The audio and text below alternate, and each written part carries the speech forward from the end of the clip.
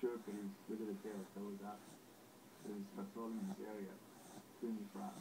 And when I first came in, what I saw is how his head was, how his tail was, and how his paw was raised.